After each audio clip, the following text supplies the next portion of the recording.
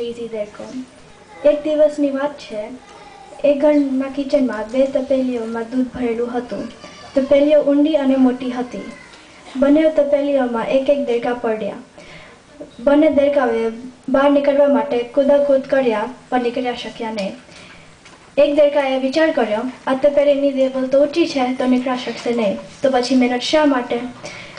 હવે મરવાનું તો છે, તો ભગવાનનું નામ લઈને હું મરું. આરસુની માફક પડી રહ્યો, મરી ગયો.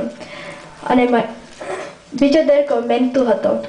તેને બહાર નીકળવા માટે ખૂબ ધમપછાડા કર્યા અને મહેન- મહેનત ચાલુ રાખી. આખરે દૂધ ફાટી ગયું અને દહીં બની ગયું. દરકો દહીંની ઉપર આવી ગયો અને કૂદીને બહાર નીકળી ગયો.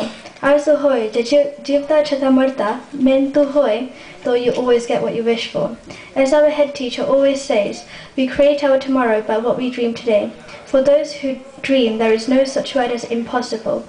If we are humble, nothing can touch us, neither praise nor disgrace, because we know who we are. Our Gujarati school is not just for learning Gujarati, but we also learn how to care for others and share our good karma practice with others too.